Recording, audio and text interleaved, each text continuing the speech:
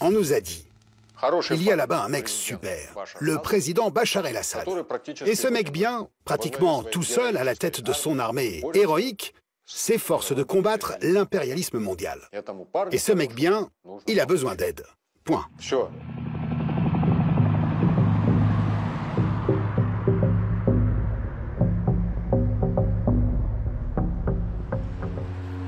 Marat Gabidouline, 56 ans, a passé sa vie à manier des armes.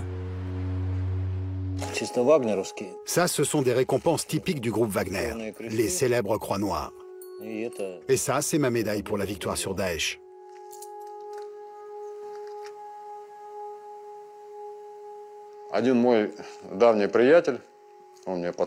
C'est un de mes amis de longue date qui m'en a parlé.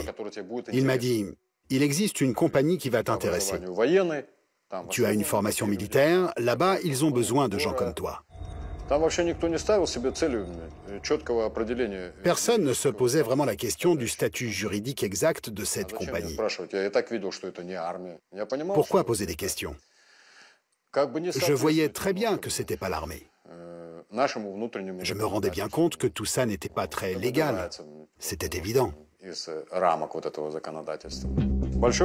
Une des motivations principales, c'était bien sûr l'argent.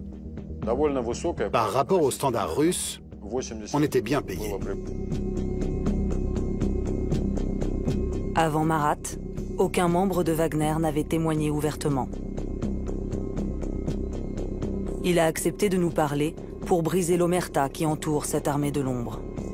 Interrogé à plusieurs reprises, Vladimir Poutine refuse toujours de reconnaître l'existence de Wagner Если там и есть российские граждане, они не представляют интересов российского государства и денег от российского государства не получают.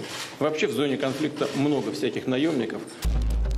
Avec son expérience militaire, Marat est envoyé en 2015 sur un des principaux terrains de déploiement du groupe Wagner, la Syrie. Bachar al-Assad est alors le premier dictateur à faire appel au service de la compagnie militaire privée.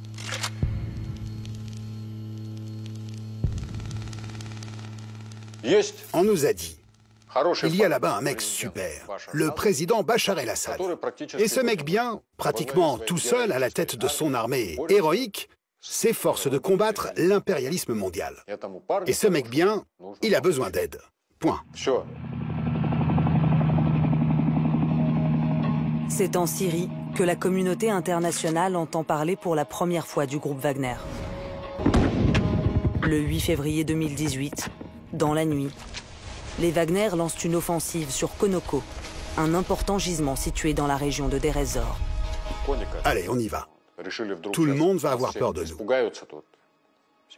Les Kurdes vont s'enfuir direct. Les Amerlocs, eux, ils vont vite plier bagage. Car nous, on est des durs à cuire. On est des mercenaires russes, bordel. Mais ils nous ont mis une de ces raclées.